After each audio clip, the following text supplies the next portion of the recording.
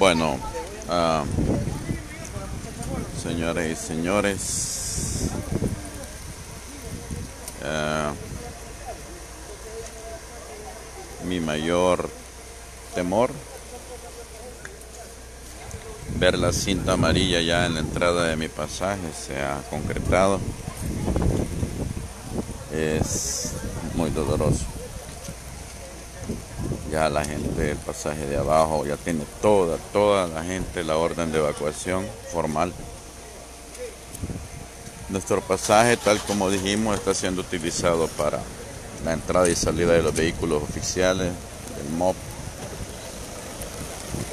Eh, están prestando los vehículos para que las personas evacúen sus pertenencias. Allá arriba hay una reunión con todos los propietarios de las casas para ver lo de los seguros. Ah, esto duele, señores. Ustedes no tienen idea. Por Dios, cómo duele esto.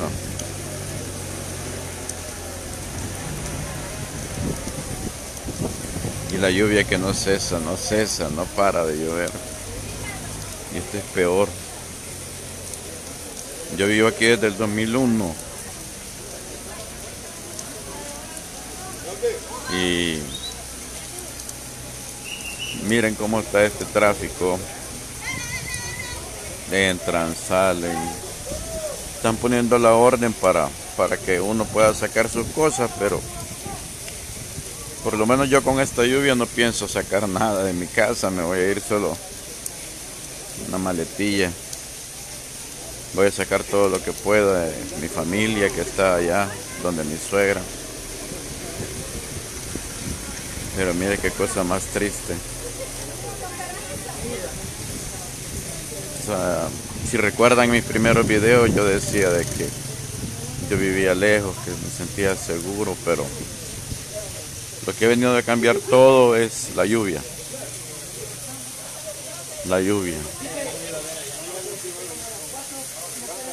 A estas alturas yo que me sentía tan seguro, ahorita ya, ya no me siento seguro. Es hora de agarrar al gato, que es el único miembro de la familia que queda aquí conmigo y irme. Voy a tener que irme.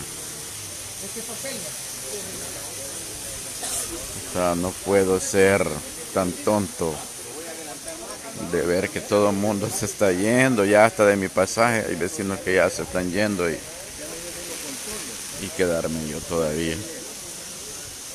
No puedo. Con el dolor de mi alma porque ahí dejo todas mis cosas. ¿Para qué voy a sacar yo mis cosas? Para que se me mojen también. Pues. Primero Dios no va a pasar nada más. Pero por seguridad, por precaución, hay que evacuar. Así vamos a hacer. Ni modo, saludos. Ahí les cuento cualquier otra cosa. A los que estaban pendientes del grupo de WhatsApp, ah, pues si yo me voy, no lo he hecho, no lo he hecho, gracias por enviarme sus teléfonos, pero no lo he hecho y si me voy de acá, de la colonia, ya en unos minutos, unas horas, un par de horas me voy, quizá, ya no podré estarles informando porque no estaría aquí Así que bueno. feo esto. Espero que, que Dios nos proteja y nos bendiga a todos y que, que no vaya a haber ninguna vida perdida, que eso sí sería lo peor. Como dicen, lo material se vuelve a hacer. La vida es la que no se vuelve a recuperar. Okay. Hasta la próxima.